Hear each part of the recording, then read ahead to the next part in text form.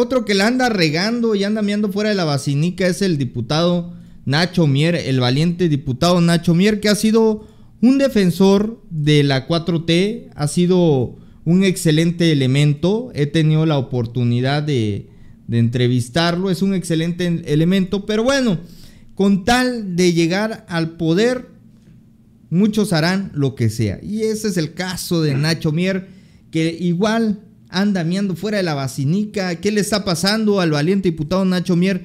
Y es que resulta que el día de ayer tuvo una reunión a puerta cerrada con Marcelo Ebrard. Medios de comunicación ya señalan como este personaje ya abandonó pues a Adán Augusto López Hernández, quien era quien lo estaba asesorando y llevando por el camino del bien, ¿no? A, a Nacho Mier. Y resulta que ahora se convierte en un férreo hebraderista. Y a la vez también es un férreo sheinbaumista. Híjole, aquí surge un problema, una disyuntiva eh, muy evidente. Quien a dos amos sirve, bueno, eso es lo que dice el dicho. Vean ustedes lo que está pasando con Nachito Mier. Mier deja a Adán Augusto y se acerca a Marcelo Ebrard para conseguir la candidatura en Puebla. Se registra la ansiedad entre operadores nacionales de Adán luego de que el, del pobre desempeño de la encuesta de Morena, quedando en cuarto lugar el diputado Noroña. En el caso de Nacho Mier, quien desde antes de que iniciara el proceso interno morenista había manifestado su apoyo a López Hernández, confirmando que se sumaría a su campaña. Ahora parece que se suma al equipo de otro presidenciable. De acuerdo con fuentes informadas de las negociaciones, el diputado poblano estaría operando en favor de un no rompimiento con el grupo de legisladores que respaldan a Ebrar en San Lázaro a cambio de un respaldo a su candidatura del gobierno de Puebla. Se presenta como un intermediario conciliador entre las partes. Y aquí lo vemos precisamente, aquí tenemos las fotografías donde Nacho Mier el día de ayer se reunió con Marcelo Ebrard y también se reunió con Claudia Sheinbaum. Pero entra otra situación porque Marcelo Ebrard dice, el día de ayer, muy arrogante, Marcelo Ebrard, muy se le sube el agua al tinaco, dice, ya hablé con Nacho Mier y le expuse mi problemática y le dije que no me anduviera amenazando a los legisladores que me apoyan. Entonces, ya puso sus condiciones Ebrard lo hizo público. Y Nacho Mier sometido. ¿Qué pasó ahí? Algo me huele un poco fétido, Albino. Creo que es mi imaginación, pero como siempre el maestro Albino Córdoba aquí nos va a apoyar con sus excelentes comentarios. ¿Tú qué, tú qué piensas? ¿Es mi imaginación o hay algo más? Hola Iber Alejandro, amigas, amigos, un saludo cordial. El tema de Ignacio Mier Velasco, no, no es nada extraordinario. Es algo que está pasando y es algo que habló, de lo que habló Claudia Sheinbaum y de lo que han venido hablando dirigentes de Morena de evitar las tribus. Ebrard se ha convertido en una tribu en estos momentos. Y las aspiraciones de Ignacio Mier Velasco a ser gobernador de Puebla creo que no le han permitido pensar de manera coherente. ¿A qué me refiero? Eh, si bien es cierto, el diputado Ignacio Mier tiene su, vamos, es válido que tenga sus aspiraciones personales, pero recurrir a Marcelo Ebrard me parece ya el colmo de la desesperación. De acuerdo a lo que tengo conocimiento, en Puebla no es Ignacio Mier el más el mejor posicionado, sino sería Alejandro Armenta, que es primo de Ignacio Mier, es el ex presidente de la mesa directiva de la Cámara de Senadores. El recurrir a Marcelo Ebrard para que vía una negociación con Morena pueda darle la candidatura en Puebla, me parece estar jugando a dos aguas. Por una parte, Ignacio Mier tiene que sacar, todavía es el presidente de, de la bancada, el líder de la bancada de Morena en la Cámara de Diputados. Y su labor debiera estar más centrada en sacar adelante los recortes que tienen ya proyectados en el presupuesto al Poder Judicial. Debiera estar más centrado en lo que es la tarea legislativa, pero no, pues también ya hace rato que andan con la cabeza volada de las candidaturas. Y es que, pues no es eh, nada extraordinario el, eh, el tiroteo interno para lograr una, bueno, es que Puebla es un, es un estado grande y es un estado pujante aparte, es un estado que está gobernado por Morena. y tiene que mantenerse en ese eh, mismo tenor.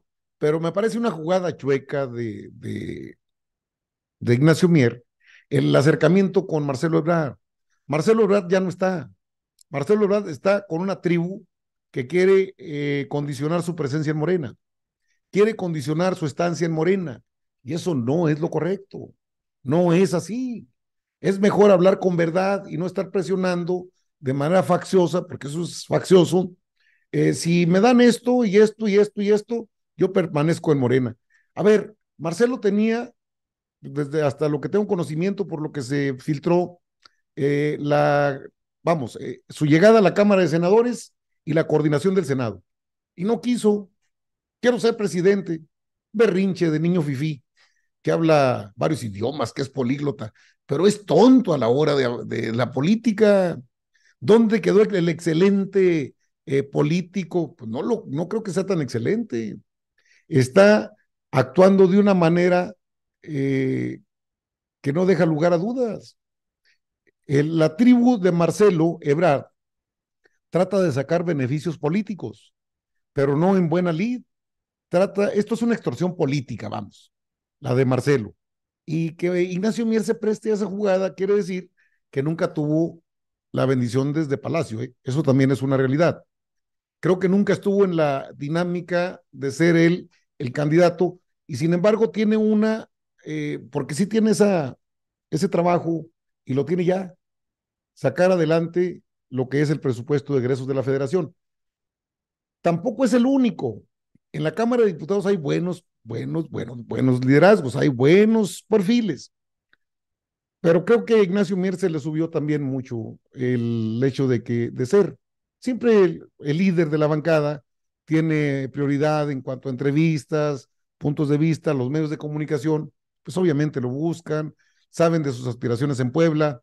Y toda esta parafernalia de poder mediático, pues creo que le obnubiló el raciocinio, el razonamiento natural, y entonces se fue a buscar a Marcelo Ebrard, un cartucho quemado que está tratando de manera, eh, lo comentaba ahorita, de una manera poco leal, poco leal al movimiento, beneficios a cambio de permanecer en Morena. Desde mi punto de vista es, váyanse, los que se tengan que ir, fuera. Pero que no ceda Morena a darle espacios a Marcelo Ebrard. Dice que tiene 50 diputados. Yo no creo que tenga tantos, ¿sí? Pero dice que tiene 50 diputados. Y entonces, en esa dinámica se va también Ignacio Mier. Van a surgir, van a surgir este tipo de movimientos. Ya está el de Marcelo Ebrard y van a surgir otros. Pero creo que si permiten que las tribus aparezcan, va a pasar lo mismo que con el PRD. Y creo que de eso sí va a estar al pendiente el presidente de México, ¿eh? lo creo. Porque al fin y al cabo, con que Claudia, sí, ya Claudia es la buena, ya es la coordinadora, pero no puede aventarse el tiro sola. Claro, ahí tiene a Noroña, claro que ahí tiene a Dan Augusto, y son los operadores que van a tener que desactivar todo esto, Iber, porque me parece que eso es querer hacerles eh, manita de cochino, o sea, torcerlos para decir, a la brava yo quiero ser el candidato, por la fuerza. Todo por la ley, nada fuera de la ley. Y estamos hablando de la ley interna de Morena. Entonces, que, que Nachito Mier ande ahí con, con Marcelo, me parece ya pues algo poco serio y si tiene que renunciar, creo que debiera renunciar cuanto antes e inscribirse en la, en la, en la encuesta. Si gana, bien, si no, también. Pero eso de voy a presionar con Marcelo. Marcelo es un cartucho quemado, es un cero a la izquierda en estos momentos. Iber Alejandro. Sí, así es. Eh, lo abordas muy bien el tema de las tribus. Me parece que en esta misma tesitura, quien se muestra al margen y 100% obradorista en estos momentos, y vaya que me cuesta decirlo porque le hemos dado pero con todo, quien mostró una postura muy firme es Mario Delgado. Porque ya lo había dicho precisamente Marcelo Ebrard, voy a formar mi tribu. Y Mario lo paró en seco. Está muy bien, te queremos aquí en Morena. Eres un buen elemento, eres un buen perfil, pero tampoco te la jales, ¿eh? Porque casi te la arrancas. Y aquí no vamos a aceptar tus condiciones. Fue lo que le dijo Mario Delgado. Con firmeza, como se debe actuar. Y en cambio, Nacho Mier, que está para entablar el diálogo, por supuesto, llegar a negociaciones. Pero lo dice, lo dijo de manera muy puntual el maestro Albino en estos momentos. Esto es una presión por parte de Ebrar. Esto ya es un cinismo descarado por parte de Ebrar. Y Nacho Mier, como se dice coloquialmente, las cosas como son, sin medias tintas, se bajó los pantalones. Nacho Mier, ante Marcelo Ebrard. Que lo dijiste también, es un cero a la izquierda, Marcelo Ebrard en estos momentos. ¿De qué te sirve el respaldo? Cuando se busca el respaldo del pueblo de México, no de Marcelo. Y, y exactamente, Nacho Mier también ha estado involucrado en demasiados escándalos en estos momentos. 400 millones de publicidad es lo que le sacaron los medios de comunicación. Y ante esa pregunta ustedes dirán, bueno, pues son los chayoteros y verá poco les crees. Pero el que cae otorga, ni lo aceptó ni lo negó. Porque está muy claro, está muy claro, yo puedo hacerme la vista gorda, pero cuando no lo niegas y dejas pie a dudas, entonces quiere decir que efectivamente, y lo decía muy bien el maestro Albino, esto es extorsión política y está cediendo, Nacho Mier no está cediendo, le está haciendo el juego, porque están del mismo lado.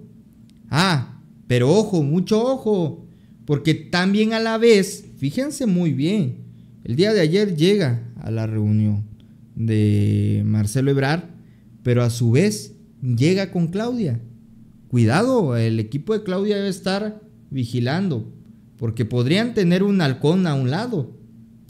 Así les dicen en términos coloquiales a las personas que se dedican a eso en unos rubros no muy legales, que digamos. Entonces, si esta podría actuar como halcón y cuidado ahí. Marcelo, inclusive después de la reunión con Nacho Mier, le señaló precisamente a, Morena bueno, yo ya hablé y ya le dije a Nacho Mier que no me presione a la chingada. Y si quieren estoy, y si no, en octubre les doy el ultimátum. Así de huevos, bueno. Así de huevos también debería responder Nacho Mier. Pero, ay, no, señor Ebrar, lo que usted diga. ¿Qué horas? Dice Ebrar. Y Nacho Mier, las que usted diga, mi señor. Pues, eh, ¿en dónde estamos cayendo? Y el tema de las tribus, por supuesto que es algo peligroso.